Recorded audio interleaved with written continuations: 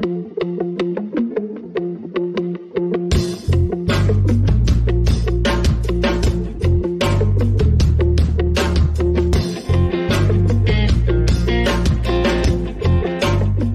Bentrovati gentili telespettatori di Cilento Channel, la sessione numero 6, questa sera con noi tanti artisti per quanto riguarda il festival IMTV eh, Festival eh, qui in eh, Campania, precisamente nel Cilento. Io saluto come sempre subito, la prima cosa che faccio, la mia compagna di viaggio cinematografico, Agnese Mandetta. Bentrovata Agnese. Buonasera a tutti, buonasera, grazie per essere qui con noi, grazie Gianni.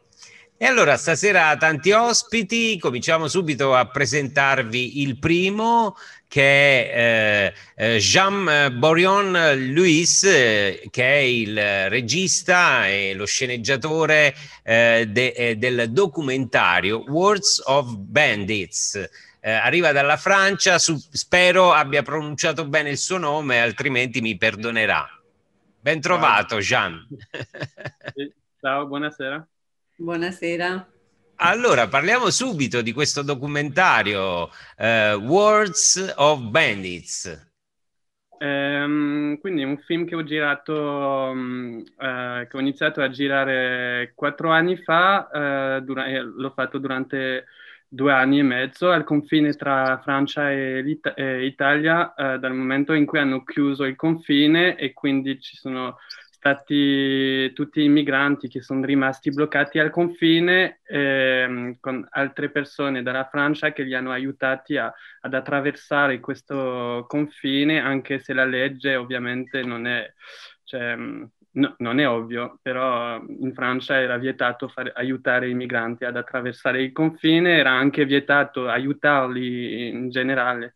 Quindi questo film eh, raccolta le parole de, delle persone che siano migranti che provano ad attraversare questo confine e anche le persone che li aiutano anche se era vietato al momento. Perché hanno anche pro- problemi con la, la polizia, la giustizia, eccetera. Molto bene. Agnese, vuoi tradurre per eh, sì. magari gli ospiti, anche se sono tutti capiscono l'italiano, però forse il signor Vangelis. Mm-hmm. No, no, io capisco l'italiano anche.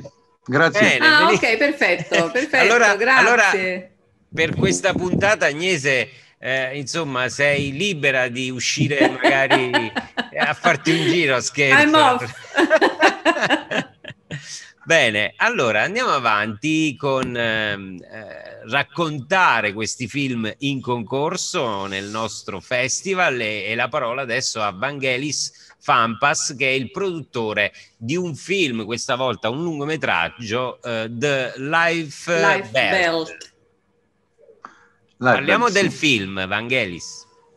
Sì, sì, uh, questo film era filmato due anni fa in Grecia da un uh, gruppo gruppo molto grande di 200 persone, eh, non professionisti del cinema. Uh, solo i tecnici e anche uh, i due uh, attori, primi ruoli, protagonisti, erano professionisti e tutti gli altri erano non professionisti. Eh, era un lavoro di, di amore, di, ehm, di fare una, uh, materializzare una storia che è molto uh, contemporanea in Grecia in questo momento. Era la storia de, uh, come si chiamano? la storia de, de, delle persone del, de Siria, di Afghanistan che vengono in Grecia. Uh, okay, migranti. E i migranti, sì, sì, grazie. Um, era una storia di, eh, umana, uh, il, il, scenario era di una storia umana, di una, uh, una persona uh, di middle class che mm-hmm. non... Classe non, media. Um, sì, classe media. Eh, che era come tutti gli altri aveva paura de, dei stranieri, eh, che i stranieri vengono per prendere i lavori dei, dai greci. e tutte queste cose. Ma eh, era una storia di, della crisi de, contemporanea. Eh, questa crisi ha preso ehm, la fortuna di questa persona, ehm, è diventato povero. Eh, ha pensato co- cosa posso fare, ma eh, forse potevo uh, essere uno di uh, questi immigranti, perché tutti gli immigranti possono mangiare e dormire in qualche posto. E ha fatto una storia per diventare un, uh, un immigrante, un sudo-immigrante. Ha imparato la lingua arabe e è diventato, e forse al, al fine Uh, sembra che lui può uh, trovare l'amore anche. È una storia dolce, eh, comincia dal problema, dal problema della crisi e diventa una, uh, una storia mm, con tant- poco comica, ma dolce. Perfetto. E, eh, la mia compagnia è una compagnia che fa dei film, fa dei documentari e tante cose. Io sono un musicista, ma mh, tutta questa compagnia di, una, uh, uh, di un posto molto industriale di Pireo, mm-hmm. vicino a Atena, uh, è un, un, posto, un posto molto povero eh, aveva tanto lavoro tanti anni fa, eh, era, sì. uh, lavoravano sulla costruzione de, delle barche grandi e adesso non lavorano. Eh, l'ho visto uh, come un'opportunità di, fare, di trovare persone nuove eh, con talento. Abbiamo fatto questo film che abbiamo, lo abbiamo fatto come post production nel mio studio. Um, molto bene. C'è qualche cosa... Bene. Grazie Vangelis, grazie per il tuo intervento, uh, per far capire naturalmente anche ai nostri telespettatori chi sono gli autori che eh, sono appunto dietro ai filmati che vedranno poi nel festival. E andiamo a conoscere adesso invece l'opera di Filippo eh, Ruggeri. Filippo. Ciao. Allora, sì. il tuo è un cortometraggio dal titolo Nascosto. Parlaci sì. di questo film. In questo progetto io fondamentalmente mh, volevo comunicare un discorso proprio di incomunicabilità emotiva e parla praticamente di, di una coppia di ragazzi giovani che si ritrova, voleva chiudere la loro relazione e poi si ritrovano a eh, causa lockdown a rimanere a casa e quindi ad affrontare se stessi. E questo, diciamo, ovviamente non è una cosa che vuol parlare del lockdown, non mi interessa. Comunque lo, volevo contestualizzarlo qui perché lo stiamo vivendo e quindi di conseguenza oggi lo viviamo intensamente, ma tra dieci anni magari no, e quindi restituire alla Camera quello che stiamo vivendo. Ma fondamentalmente quello che volevo raccontare era proprio legato al rapporto emotivo e di coppia di queste due persone che si ritrovano ad affrontare se stessi e, e, nasce come diciamo un dramma, però poi già dalle prime riprese diventa una commedia. A me fa proprio ridere quando lo vedo, mi fa ridere e sorridere, fino a perché sono due bambini fondamentalmente che giocano a fare gli adulti, fino all'ultima scena dove esce fuori diciamo l'aspetto emotivo e, ed esce fuori anche il messaggio, ovvero che nel momento in cui si sceglie, che si sceglie in bene o si sceglie in male, comunque si è liberi finalmente. Quindi è un discorso di quando arriva il contatto, il confronto reale, non si scappa più, è lì che siamo liberi. Quindi è un inno alla libertà. Bene, molto coraggio. bene. Bellissimo, complimenti. Interessante. Grazie. Adesso la parola invece a Lorenzo Mariotti, anch'egli Ciao. nella sezione short film con uh, il titolo Nettie.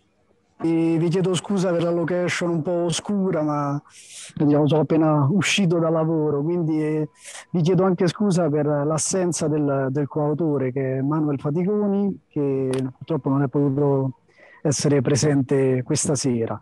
Eh, allora sì, allora, innanzitutto vi ringrazio ulteriormente per, per questa opportunità. Io e Manuel siamo felicissimi, proprio siamo alla Setting Cielo, perché noi in realtà eh, amiamo il cinema e abbiamo iniziato da pochissimo l'avventura di fare cortometraggi, quindi per noi insomma, essere eh, stati presi in considerazione è già una, una, vittoria stratosferica.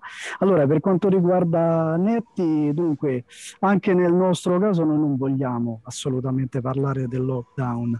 Il, il film nasce durante, sicuramente il lockdown è, mm, si fa eh, quanto mai portavoce di una serie di suggestioni, di una serie di pensieri che possono magari essere nati in quel periodo e abbiamo voluto usare la fantascienza perché eh, con quel genere in qualche modo oltre a quello che può essere l'impatto visivo, oltre a quella che può essere l'emotività iniziale, poi si cerca in quanto meno di far stratificare gli argomenti affinché diventino un, eh, motivo di riflessione, ok?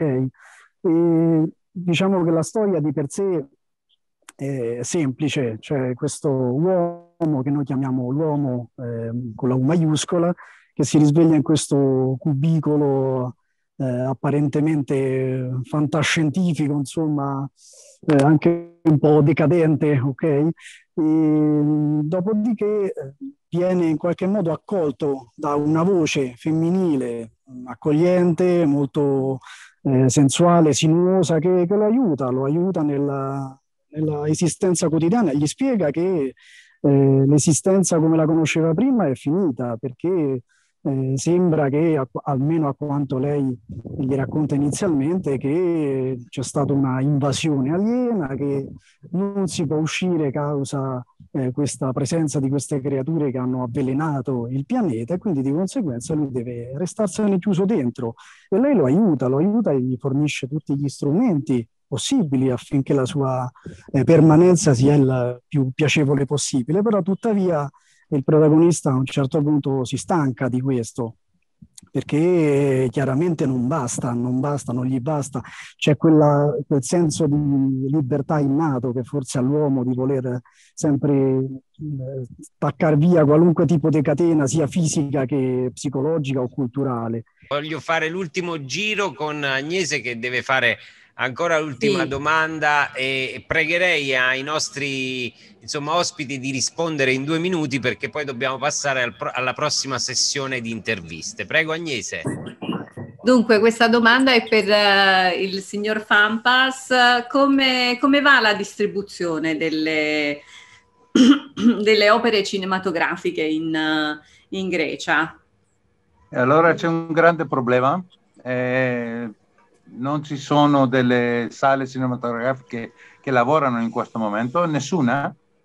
E siamo in uh, lockdown uh, per eh, quasi cinque mesi adesso.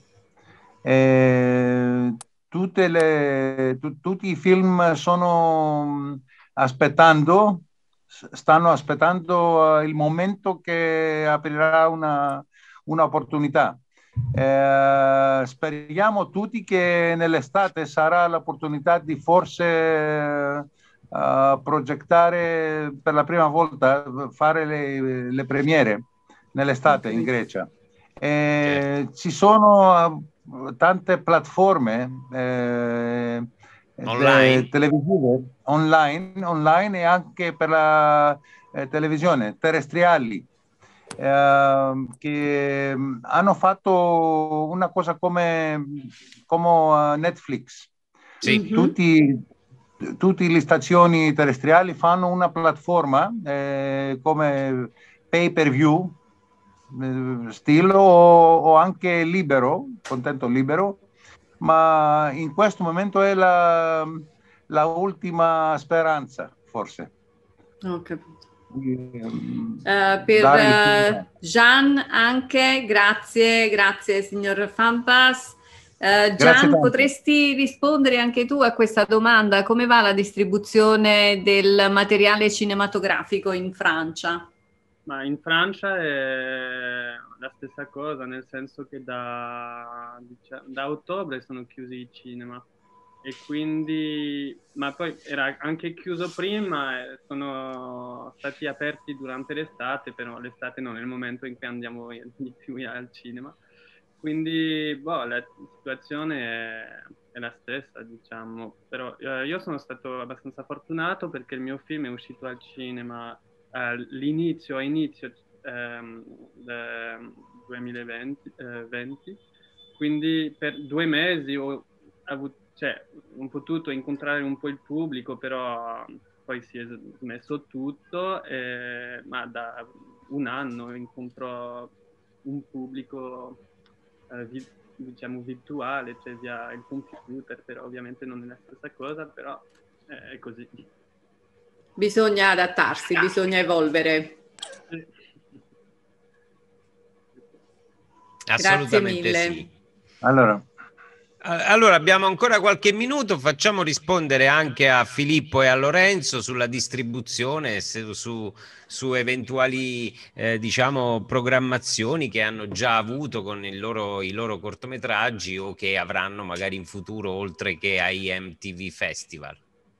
Sì, eh, ovviamente in questa fase proiezioni roba di questo genere eh, non, non, è, non, è, fattibile. Diciamo che io non sono uno che ama il mondo della distribuzione perché io faccio il cinema per, ehm, per proprio esprimermi, però in questo caso per, proprio per una questione di rispetto verso il mio staff, che sono stati veramente bravi, professionali, erano miei cari amici, l'abbiamo fatto per esprimerci appunto a titolo gratuito, ho personalmente distribuito questo corto nei vari festival tramite Film Freeway ovviamente. Abbiamo già portato a casa 7-8 selezioni e una finale in, al New Generation Festival di Belgrado, mi pare. Comunque è una cosa che faccio, diciamo, eh, proprio è stato per un per piacere di promuovere e distribuire e per prendere qualche selezione. Diciamo che io sono più per la fase espressiva che per quella della distribuzione, per quanto riguarda il mondo dei corti. Poi, quando si tratta ovviamente di un lungometraggio, un documentario, il discorso è diverso, però il mondo dei corti fondamentalmente funziona così. Bene Filippo, molto bene. Diciamo che sei soddisfatto già quando esce dal montaggio il film. Sì. Hai raggiunto è, è il top. Ecco. l'arte per me, è terapeutica. Io poi perché mi occupo di molte altre cose, podcast, musica, eh, teatro anche quando si potrà, quindi di conseguenza eh, è una, proprio una questione mia personale. Mm, le, ovviamente si spera sempre che selezione dopo selezione si riescano a trovare i fondi per fare un film, quello è. Molto bene. Lorenzo, un minuto per Grazie. te. Eh, sì, io magari evito di, di, aggiungere cose perché più o meno è stato già detto tutto. Anche io sto facendo il possibile, Emanuele, per la distribuzione più possibile online e appunto facendo il più possibile farlo partecipare a concorsi un po' ovunque, laddove è possibile, laddove possiamo noi nel nostro piccolo. Però è chiaro che sta risentendo tantissimo della, della situazione attuale che spero migliori il prima possibile. Ecco. Però per ora fortunatamente esiste l'online, lo stiamo sfruttando il più possibile per, per una distribuzione più capillare possibile, ecco, perché anche quello che interessa a noi è che arrivi il nostro messaggio eh, quello sì, sicuramente. Molto bene, allora siamo in conclusione. Io, come di consueto, ringrazio innanzitutto la mia compagna di viaggio, Agnese Mandetta. E grazie poi, a te Gianni, grazie a tutti, complimenti a tutti per i progetti. Ringrazio Vangelis Fampas, Jean Boiron eh, Lauis, eh, Filippo Ruggeri e Lorenzo Mariotti. Eh, no, vi invito a, a vedere i loro film grazie naturalmente voi, dal 4 al 25 di aprile su Cilento Channel e anche online sul sito. Ciao a tutti, grazie, grazie ancora. Mille, grazie infinite, arrivederci. Arrivederci, arrivederci. arrivederci.